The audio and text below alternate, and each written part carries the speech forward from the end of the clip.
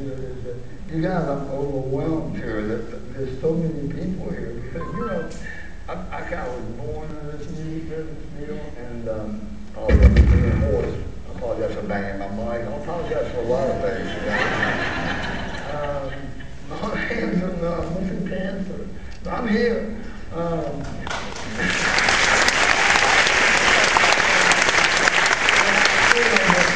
you know, if you grew up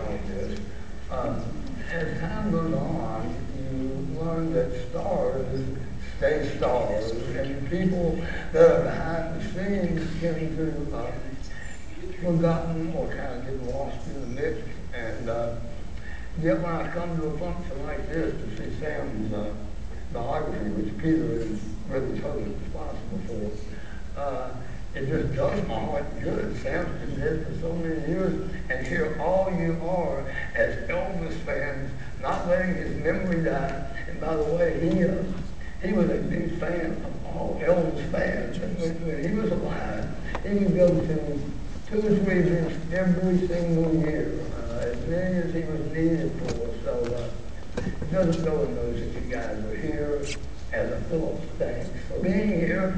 Uh, yeah, I do. Uh, I will say this, it was fun watching that video. My dad was pretty cool. anyway, the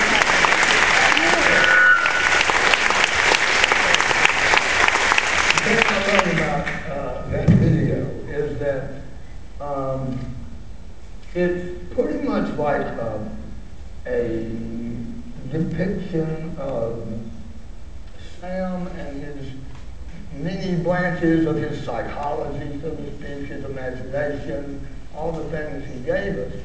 And when you look at that biography, I mean, it is centered, it's on target, down to earth. Um, you know, it nails Sam, it nails rock and roll, and for me, it sort of a framework uh, for what happened, how it happened, and uh, it's a pretty wonderful piece of work, especially since Sam never wrote a book. I know when I introduced Peter to Sam, and, and it took 10 years to get them together, but, but we would see each other, and we've been best friends along with Alexandra, his wife, for 35 years. So, uh, one of the best things that's ever happened to me is Peter friendship, and uh, the time that Peter has spent with Sam, he's writing a book now, and uh, so he will elaborate. And, and by the way, how long, maybe a year, year and a half, I'm not sure, Peter, how long it's going to be, but uh, where are we? We in 1959 now? Where are we? Let me just stand up. Can you hear me now? Is that, yeah, that's okay. Um, don't hold your breath. say a year and a half, two years, we'll, we'll, we'll have the book out and we'll have the DVD of the, of the uh, documentary out with, with some.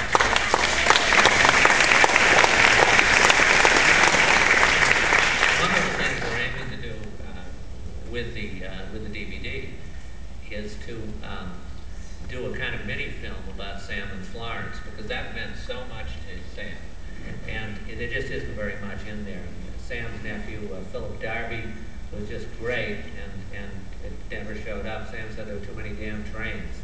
so, uh, so that's what we, we really want to do because Sam thought next to Memphis, or maybe right up there with Memphis, with Florence, Alabama.